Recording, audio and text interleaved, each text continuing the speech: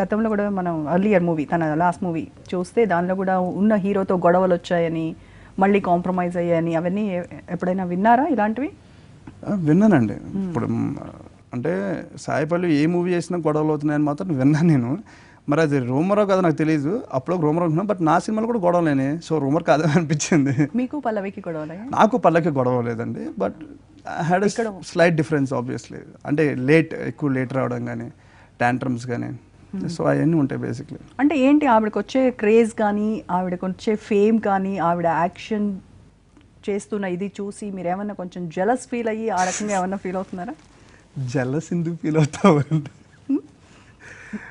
నేను చాలా మంది అందగత్తులను చూశాను చాలా మంది యాక్ట్ చేసేవాళ్ళని చూశాను నేను ఎప్పుడు జల్లస్ ఫీల్ అవ్వలేదు. ఓకే దూకి చచ్చిపోతాను నేను జలస్ ఫీల్ అయ్యే కదా దానికంటే.